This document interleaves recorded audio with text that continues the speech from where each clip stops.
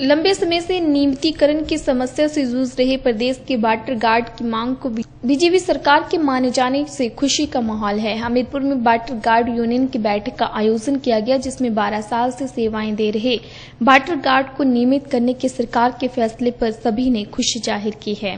Water guard union ने निर्णय लिया है कि जल्द ही वाटर गार्ड बड़ा सम्मेलन का आयोजन करेगी, जिसमें सीएम जयराम ठाकुर को बुलाकर सम्मानित किया जाएगा।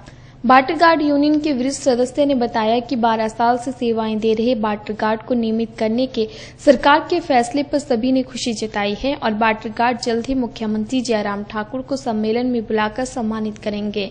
साथ ही आईपीएच मंत्री को भी सम्मेलन में सम्मानित किया जाएगा। ये है कि जितने भी पंचायत वाटर गार्ड हैं, डिस्ट्रिक्ट हमीरपुर के, उनको हमने इकट्ठा किया हुआ है। सबसे पहले तो हमने धन्यवाद करना है सीएम साहब का।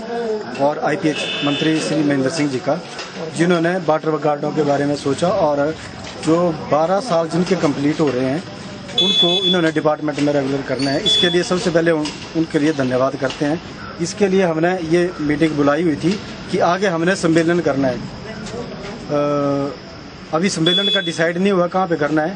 जहाँ पे भी बताएँगे, वहाँ पे हमने मतलब जो ऊपर वाले हैं, जो हमें बताएँगे कि वहाँ, यहाँ पे हमने सम्मेलन करना है, वहाँ पे सम्मेलन किया जाएगा और उनको सम्मानित किया जाएगा। जो सीएम साहब हैं और आईपीएस मंत्री हैं, उनको सम्मानित किया जाएगा।